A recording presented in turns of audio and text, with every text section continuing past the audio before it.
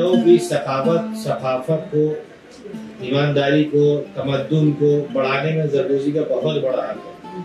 हमारे लखनऊ में एक जो चीज़ सबसे ज़्यादा मशहूर है, गंगा जमनी तहजीब, हमारे लखनऊ लखनऊ ने पूरे हिंदुस्तान को गंगा जमनी तहजीब दी है।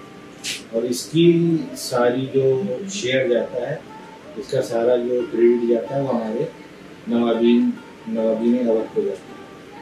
हमारा जरदोजी में आना जो है, हादसे, हादसाती तौर पर मतलब अचानक से हुआ। हमारे वालिद साहब जरदोजी का काम करते थे और उन्हीं ने हमारा, उनको काम सिखाना भी शुरू किया।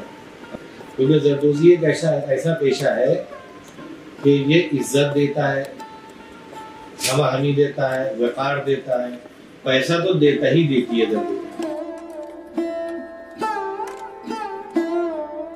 धीरे धीरे जरदोजी ने अपना शेप चेंज किया, पहले सोने के तागे से बनती थी फिर ये पीतल में, तांबे में शेप में आई, अब ये जाकर के शीशा और प्लास्टिक और धागे की शेप में आई। तो जरदोजी का प्रोसेस सबसे पहले इमेज होती है यहाँ पर ब्रेन में आके सोचता है मैं क्या बनाना है। फिर एक खास तरह का कागज़ लिया जाता है। उस पर डिज़ाइन बना करके। डिज़ाइन को एक खरिया जिसको चौक कहते हैं उसको पीस करके मिट्टी के तेल मिला करके हम उसको खाते को छापते हैं।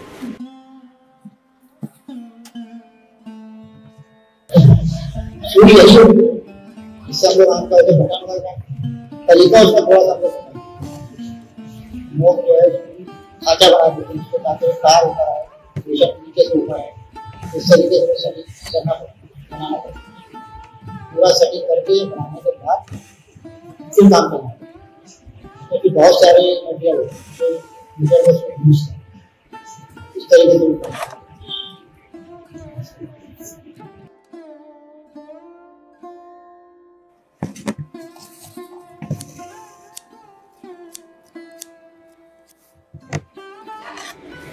हम उतने बुरे भी नहीं, हम उतने भी नीचे का कारोबार नहीं करते हम लोगों के शौक पूरे कर असली में तो हम थे आर्टिशियन